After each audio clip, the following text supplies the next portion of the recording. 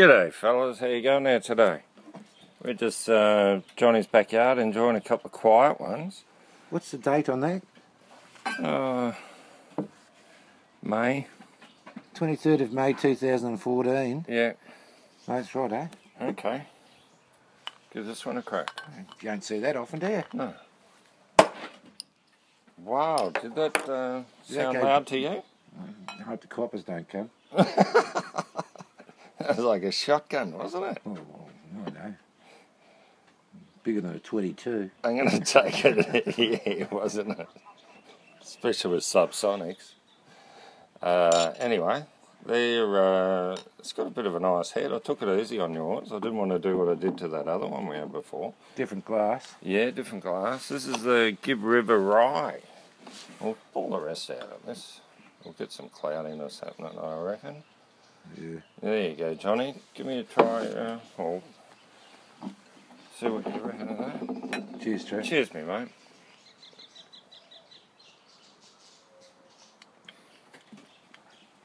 A lot more subtle than the previous, you know, previous whatevers. Well, that's only couple. yeah. Well, it's only four point seven percent, Yeah, a lot lighter. so it's more like your everyday drinker. You know, you have half a dozen. What's happened to the top of the bottle? It's got a nice little thing happening there, isn't it? What's that? On the happened to the top of the bottle? Oh, it's a boy. a oh, boy. No. Looks like it's Oh. Oh, it's gone. it's gone. He's done his job. Yeah, it's done. Thanks, yeah. fellas. That's lovely. Gibb River Rye. Okay. How many vids you got up on your channel, Trev? Oh, a couple hundred. 200. Yeah, something like that. Say you're spending Four Yeah. months, I think, I've been doing it. four months. Yeah. Say you're spending five bucks a beer. You got 200. It's cost you Well, a some are costing 15 bucks. Some of those rogue beers and that I'm trying. Oh, well, let's go to the bottom line. Say you're spending a fiver.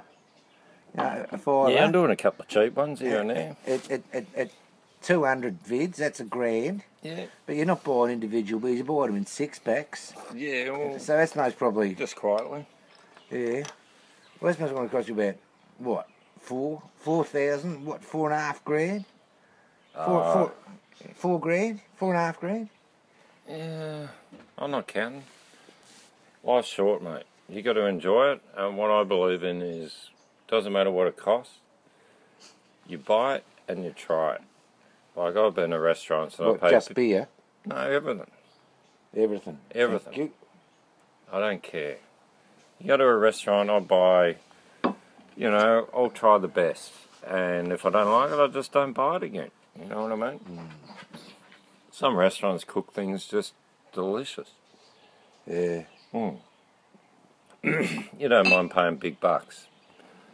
You know, when I travel, I always look for a restaurant that's busy, a lot of people there, and I'll look as I go into that restaurant, and if it's full of locals, I'll, I'll look at what they're eating. Good indication to go into a restaurant, yes. And if a lot of them are eating a similar dish, you'll know that that dish is going to be so fresh and it's going to be the best thing around. If all the locals are eating there. Yes. yes. So that's how I sort of go. And then I'll get a couple of other dishes off the menu and uh, hopefully I've learned a bit of that language. You know, I speak a bit of 10. So that's alright. You know, you usually mumble through something and get a decent meal. It's like street food in Thailand, you know. Like Ah, some people eat it, some, some some people don't eat it. But you know, if if it's not clean and hygienic, people won't come back the next day. So you know they'll soon go out of business, and the word will soon get around. So you, you'll find that most you know outside uh, you know street food kitchens in you know Asia are most probably you know cleaner than you know some Not restaurants. You know, I'm. I'm, I'm, I'm sure. you Yeah, know. exactly. Yes. Yeah, the street food in Thailand's bar none the best food of Thailand. When you see a, a heap of Thai people run out to get food off a, a you know, it's usually a lady on a motorbike hooked up to this big thing and they're grilling up chicken or they're you know, Yeah, cooking common. up fried Yeah. noodles or pad kapow or something. Standard And Thai food. whenever all the Thais come out and start buying it off them, you know they're going to have the best food. you know it's good. Oh yeah, and it's a good time to get out of the sun in Thailand around midday. You know, 12, 1 o'clock. Been down the beach, you've done whatever you have to do, and uh, time to get some street food and get back to your hotel room where it's air conditioned. You have a shower, you've had a body surf, done whatever you had to do, and uh, then kick back and have a couple of beers and uh, enjoy the street food. It's cost you about five bucks. You'll have a whole fish, grilled, maybe a bit of grilled chicken, and uh, a Pineapple. dish of veggies cooked with maybe beef or something with oyster sauce, you know, and on Thais and are very, rice. good- very Cheap. good. Um, it's good food.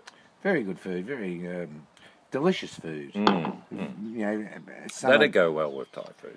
Yes, certainly would. That's where I'm. What I'm thinking with that one. I wouldn't mind having that with like a nice pad kapow with an egg on top.